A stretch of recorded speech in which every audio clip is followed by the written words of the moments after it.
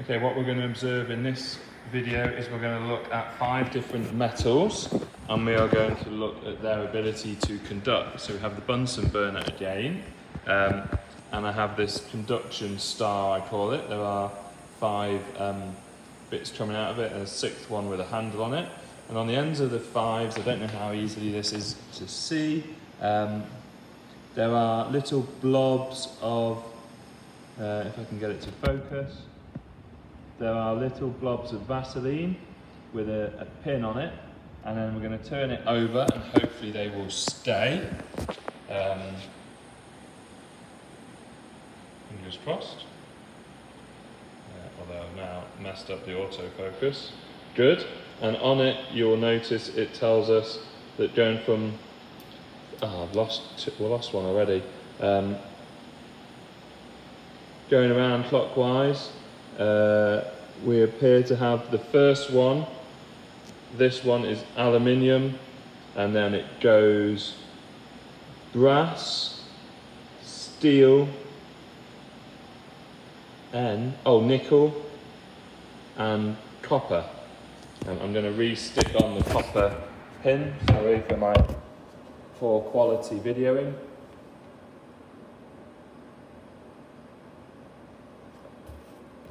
And then we're going to put them in our Bunsen burner flame and we're going to watch the ones that drop.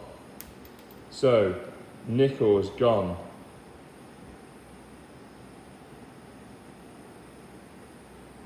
I think that's much. Copper went there. I think nickel just actually fell off. The Vaseline's still solid.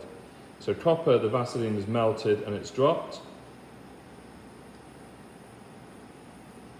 So copper went first.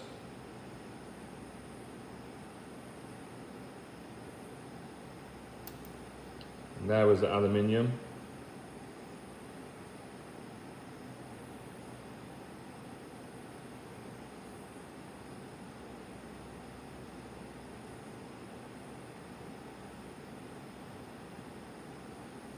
These two are hanging on, aren't they?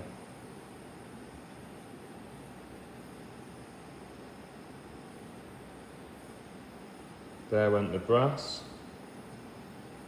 Last man standing is the steel.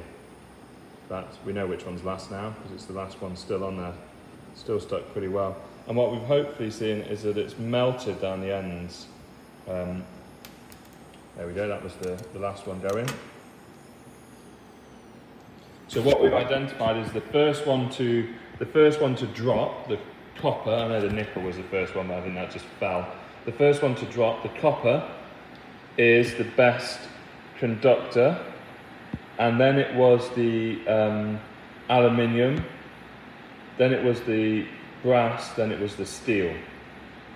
So we can see which we can see that these different metals all conduct at different rates. Even though metals are all good conductors, within that, some are better than others.